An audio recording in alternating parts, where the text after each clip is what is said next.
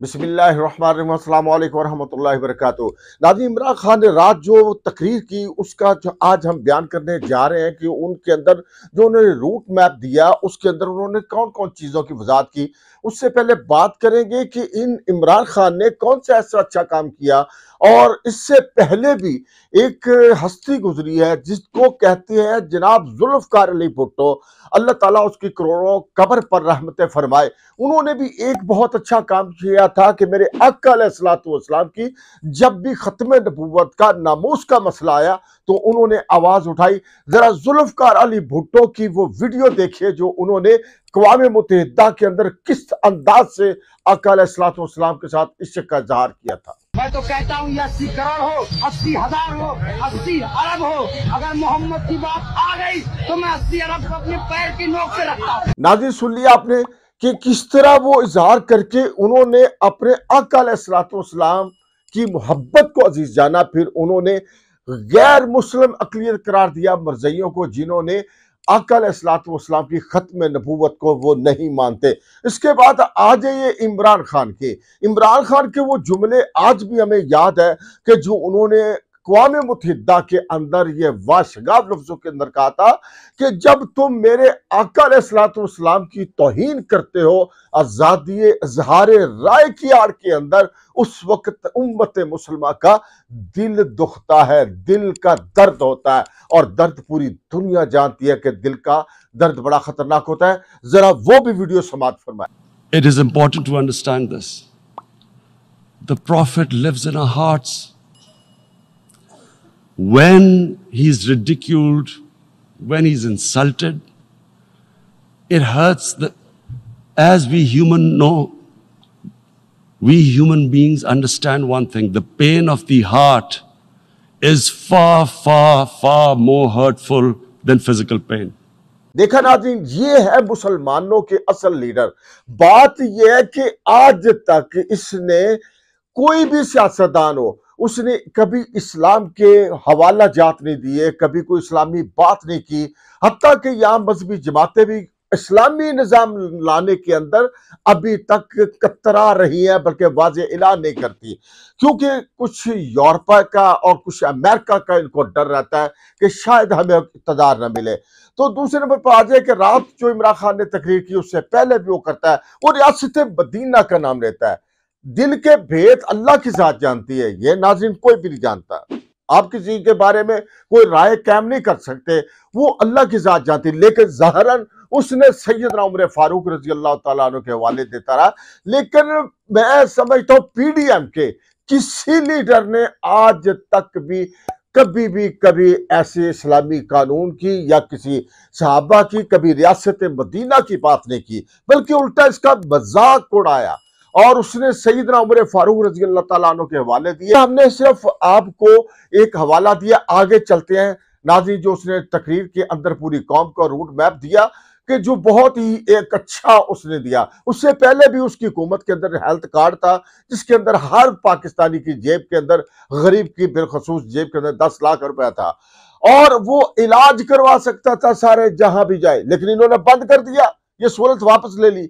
अब आज एहसास प्रोग्राम वो ऐसा प्रोग्राम है कि दुनिया भी इस प्रोग्राम को मान गई थी कि ऐसा प्रोग्राम हमारे मुल्कों के अंदर भी नहीं। और इसके ज़रिए नाजिर बारह हज़ार रुपए लोगों को मिल रहा था। इन्होंने वो भी बंद कर दिया और दो हज़ार लगाया, वो भी पता नहीं किसी को मिला नहीं मिला। यानी इनके पास कोई रूट मैप नहीं है। सारी उम्र सिर्फ़ इन्होंने तस्वीरें बनाई हैं और कोई इन्होंने काम नहीं किया पीडीएम ने। अभी भी इनको मौका था, लेकिन इन्होंने नहीं। लेकिन उसने रूट मैप दिया। उससे पहले भी उसने काम किया, लेकिन उसने कहा जी मुझे मौका नहीं दिया गया। कोरोना भी आ गया। लेकिन अल्लाह करे, अगर उसको मौका मिलता है, फिर देखती है कौम के जो उसने दावे किए, इमरान खान ने। आया वो पूरे होते भी या कि नहीं होते? तो सबसे पहले जो उसने कहा कि मैं मीशत की बहाली के लिए जो प्रोग्राम लेकर आया हूँ उन्होंने कहा जी, बैरून मुल्क पाकिस्तान की सरमायाकारी को मैं पाकिस्तान के अंदर लाऊँगा। वो लोग पाकिस्तानी पाकिस्तान के अंदर प्लाट खरीदना नहीं चाहते, कब्जा हो जाता है। ये बात तो हकीकत उनको तहफ़ ही नहीं। ना अदलिया की तरफ़ से तहफ़ है, ना कानून की तरफ़ से तहफ़ फिर उन्होंने जो सबसे बड़ी बात की, उन्होंने कहा अठारह हज़ार अमरीका में पाकिस्तानी डॉक्टर हैं, अठारह हज़ार, जिनकी आमदन जो है दो अरब डॉलर है। और हमें कितने चाहिए? छह अरब डॉलर। और हम भीख मांग रहे हैं दुनिया के किसी के कोने के। उन्होंने कहा, जी, हम उनको कायल करेंगे। उनके अंदर अगर हम जनाब पाँच सात हज़ार डॉक्टरों को भी कायल हो गए कि पाकिस्तान के अंदर डॉलर भेजो तो मैं समझता हूँ हमारे इकॉनमी के अंदर बड़ा फ़र्क आ जाएगा, हमारी मैशियत के अंदर बड़ा फ़र्क आ जाएगा। तो ये भी जरा सुनिए कि वो डॉक्टरों के बारे में क्या कह रहे हैं। और जो हमने डॉलर मंगवाने हैं, मुल्क के जरा गौर से सुने। मैं आखिर में पहुँच रहा हूँ। डॉलर कैसे आएँगे? एक्सपोर्ट बढ़ाने में तो टाइम लगेगा। एक तरीका है डॉलर लाने का। ये जरा गौर से सुन रहे हैं और आज बैरूनी मुल्क पाकिस्तानी भी सुन रहे होंगे, मैं उनको भी बताना चाहता हूँ कि देखिए, मैं बड़ी देर से एक ही बात कहता हूँ कि सबसे बड़ा असासा पाकिस्तान का बैरून मुल्क पाकिस्तानी है। उनके पास जो डॉलर्स पड़े हुए हैं, अगर हम अपना गवर्नेंस सिस्टम ठीक कर लें, हम अपना रूल ऑफ़ लॉ ठीक कर दें, हम इस मुल्क के अंदर इतमाद अपने सिस्टम में ले आए कि अगर वो अपना सरमायाकारी करते हैं पाकिस्तान में तो हमारा जो अदलिया का निज़ाम है, जो हमारा गवर्नेंस सिस्टम है, वो उनके सरमाए की हिफाजत करेगा। जिस वक्त ये कर दिया अब जरा सुने, मैं आपको फिगर बताता हूँ। अठारह हज़ार अमरीका के अंदर पाकिस्तानी डॉक्टर्स हैं। फिर से सुन लें। पाकिस्तानी अमेरिकन डॉक्टर्स अमेरिका में अठारह हज़ार हैं। आपको पता है कि उनकी टोटल वेल्थ कितनी है? अठारह हज़ार पाकिस्तानियों की वर्थ कितनी है? 200 अरब डॉलर। 200 अरब डॉलर। हम घुटनों के ऊपर है। हम 6 अरब डॉलर मांग रहे हैं। 200 अरब डॉलर अठारह हज़ार पाकिस्तानी अमेरिकन के हैं। हमारे जो 10 पाकिस्तानी अमेरिकन टॉप बिजनेसमैन हैं, सिर्फ़ 10 आपको पता है उनके पास उनकी वर्थ क्या है? 25 अरब डॉलर। 25 अरब डॉलर। तो छह अरब डॉलर के पीछे हम आज आईएमएफ के पीछे तो आगे चलते हैं नाजी, उन्होंने बरामदाद को फाल करने का कहा कि जो अपना कारोबारी लिहाज के अंदर ये भी हमारे एक बड़ा आगे सियाहत को उन्होंने फरोख देने के लिए कहा। कि सियाहत को फरोख दूँगा लेकिन यह भी मुझे मौका नहीं मिला।